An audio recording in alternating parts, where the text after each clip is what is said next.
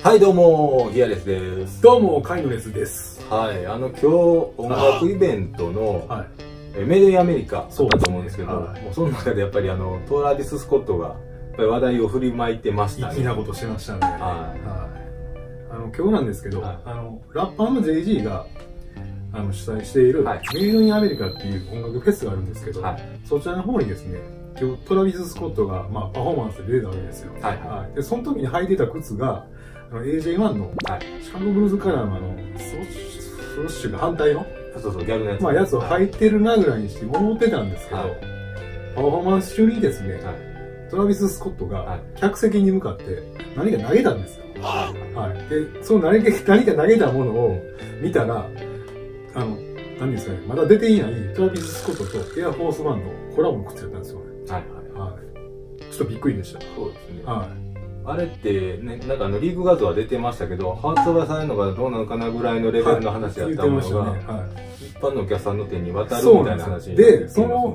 はい。で、その、それを受けてですね、インスタを見ていると、そのエアフォース、トラビス・スコットとエアフォースのそのコラボの靴が、年内に出るんじゃないかっていう話がまた出てきてるんですよ。まあ、リーク情報として出てきたとはい。で、値段の方も160ドルで。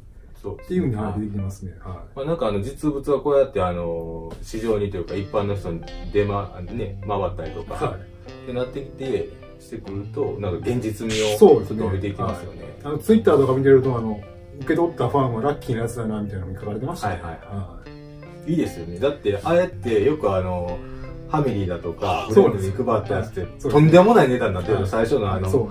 発売モデルともちょっと違うから。僕らがよく言ってるフライトクラブでなんぼやったっていう話。そうそうそうそうそう。しかも箱なしで。そうで オリジナルボックスないですよ。今いや、でもなんか、なんていうんですかね、好きなアーティストのライブに行って、そのアーティストがなんか、なんですかね、着ている T シャツ投げたりとかして受け取ったりとかしたら、やっぱ見てる方が嬉しいですよ、やっぱり。まあね。思い出にもなりますからね。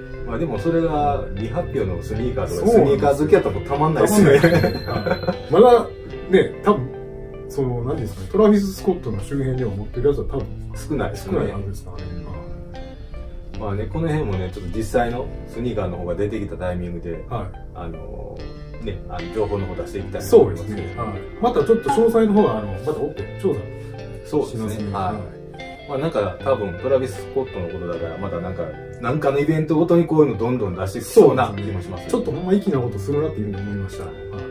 はい。ではまたあの引き続きこういった情報出てきましたら、あのこちらの方でお伝えしていきますので、気になる方はチャンネル登録の方よろしくお願いします。高評価お願いします。はい。それでは以上になります。ヒアレスでした。カイノレスでした。さよなら